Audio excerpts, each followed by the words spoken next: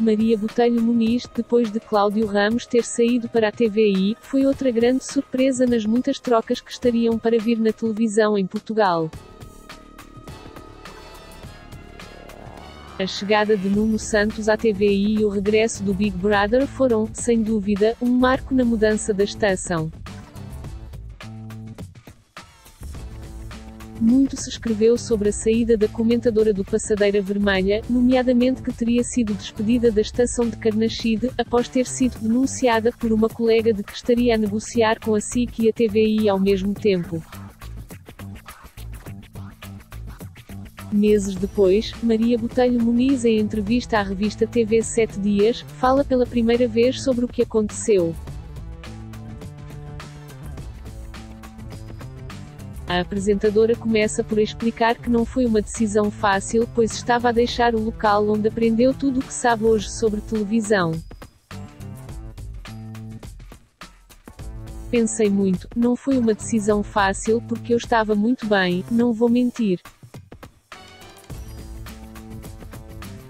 Estava cheia de trabalho, nessa altura, fazia três programas ao mesmo tempo. Foi uma casa onde aprendi tudo aquilo que sei, enquanto apresentadora, sobretudo. Foi uma casa que sempre me deu todas as oportunidades, que sempre me tratou maravilhosamente, onde tenho muitos amigos, onde tenho a minha mãe televisiva, lê-se no artigo. A apresentadora adianta que, no entanto, a proposta apresentada pela TVI era muito aliciante, pois iria dar-lhe a oportunidade de crescer e testar-se noutro patamar, que na SIC a iria demorar mais um pouco pois, à sua frente, haviam outros nomes em espera. Há um dia em que alguém me diz, queremos dar-te uma plataforma um bocadinho maior.